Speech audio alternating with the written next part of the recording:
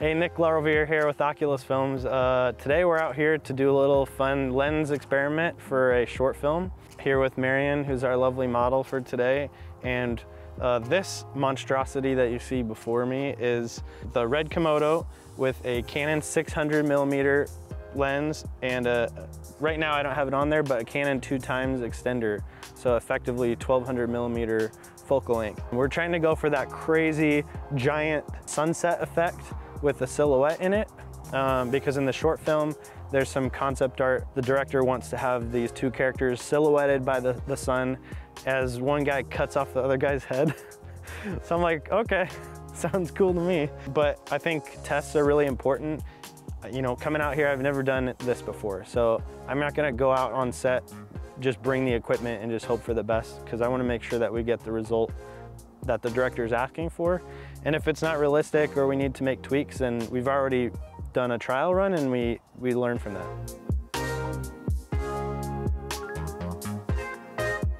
I am using the Sun Surveyor app to figure out where the sun is gonna, go down um, as precisely as possible. I'm sure it's not perfect, but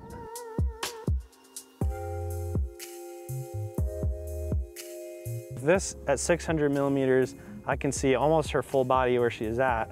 Basically, she'll just have to go twice as far away and that'll be what we do for our 1200 mil. You probably need a heavier duty setup for this.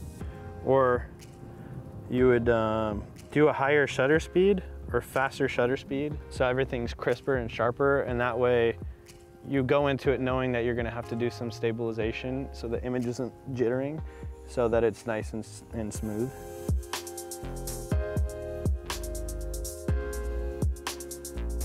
So the challenge is the sun is gonna set past that mountain. So I almost need to get it before it gets there. We want that sun behind them, but we've got mountains there. So we have to shoot up so we see them and the horizon at the same time.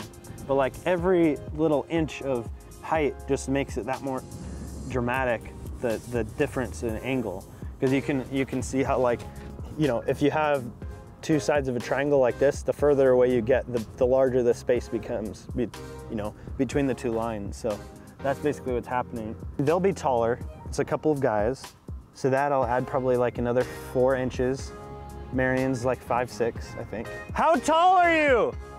Okay, she's like five, six. So a few more inches there and we put them on maybe some apple boxes. Then I can, I can kind of angle up a little bit more and then see more of the horizon. I think that might work perfectly. I'm gonna silhouette her and I'm gonna do a quick shot for test and fun purposes. Longest lens I've ever shot on. I did like four or 500 millimeters when it was actually hot and you can see this, it's like, it looks like jello. So we did not get it. Oh, what? Nah, I know. The sun, what? it was in the wrong, not, the sun was in the wrong spot. it was like the tall mountain over there, mm -hmm. it, it like hit the top right hump and like went down right there. So it was way too high and I thought it was gonna go down in the middle over there. So I guess I learned that you can't totally trust the sun tracker app to be like, like perfectly accurate. Right.